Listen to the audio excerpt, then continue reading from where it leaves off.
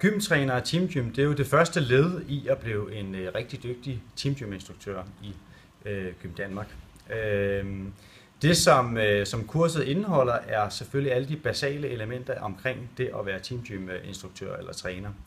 Øh, man kommer omkring øh, en masse del øh, relevansteknisk omkring rytmen. Det samme gældende for springdelen, både trompet og tumbling.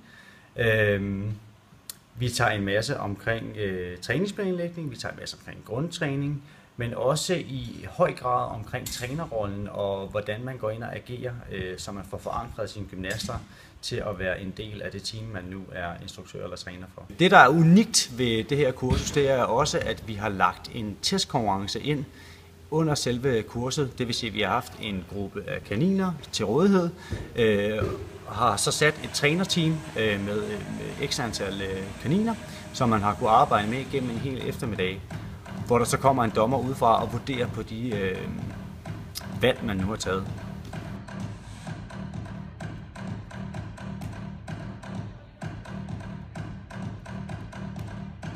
Noget af det bedste, vi har, jeg synes, vi har oplevet på kursus, var egentlig prøvekonkurrencen.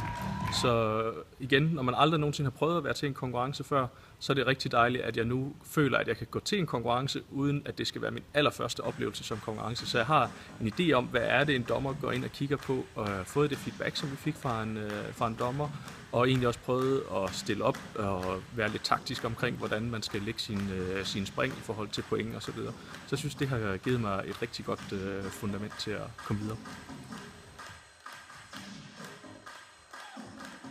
Det bedste det har helt sikkert været, at det her det er et teamgym-kursus, og det er det, jeg underviser i. Så det her det retter sig direkte mod teamgym, og det er noget, som jeg kan bruge det hele, fordi det bare retter sig mod teamgym.